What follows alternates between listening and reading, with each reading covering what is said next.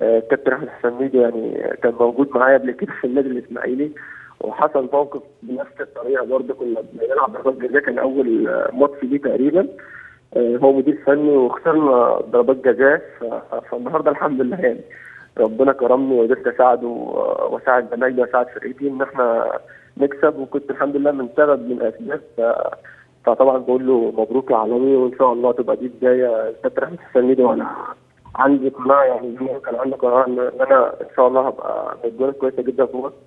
أنا عندي قناعة كبيرة جدا في الكابتن أحمد ميدو إن هو مدرب إن شاء الله يبقى حاجة كبيرة جدا في الكره المصرية في فترة صغيره جدا الفترة اللي جاية. وعنده امكانيات كبيرة جدا أنا بتمرن معاه كنت سعيد جدا إن أنا هتمرن معاه فترة ثانية غير الفترة اللي كانت في الإسماعيلي كان فترة ناجحة بالنسبة له بشكل كبير. فأتمنى طبعا التوفيق كابتن خالد مصطفى.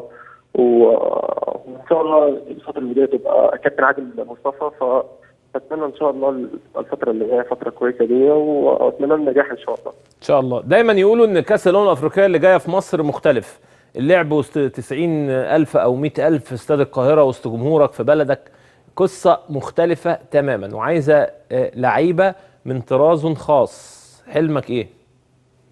والله فرصة يا كابتن مش هتتكرر تاني أنا الواحد كان صغير في في تصوير 2006 يعني أه حاجة شعور يعني كبير جدا إن أنت تمثل بلدك في وسط أه أهلك وناسك وإن أنت تحارب وتقاتل عشان تسعد الناس دي اللي هي بتفضل بتشجعك أه طول الموسم. فتيجي في فترة صغيرة زي دي في حدث كبير جدا تقدر تقدم يعني حاجة الموضوع مالوش دعوه بالكوره يعني البطوله دي ما لهاش علاقة بالكورة خالص.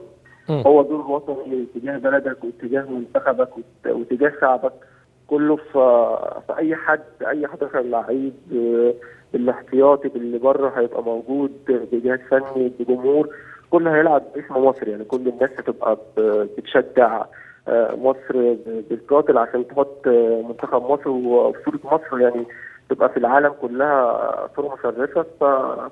فالموضوع مش هيبقى كورة يعني الموضوع هيبقى يعني في أبعاد أكبر من الكورة فأتمنى إن شاء الله المجموعة اللي هي هيتم اختيارها تبقى يعني شعب مصر كله يساند وإن شاء الله يبقى ليهم التوفيق يبقى بيحالفهم في البطولة ونقدر نرجع منتخب مصر تاني واسم مصر تاني على منصات التتويج بإذن الله. كابتن أحمد ناجي على اتصال معاك؟ كابتن أحمد ناجي جاي تقريبا بكرة إن شاء الله وبعد بكرة يبقى موجود معايا في السعودية هنا لمدة 10 أيام بإذن الله. آه هيتفرج على التدريبات وهيتابع المباريات بتاعتي وبتاعت آه حسين السيد ومحمد العطوة لاعب النادي الرائد.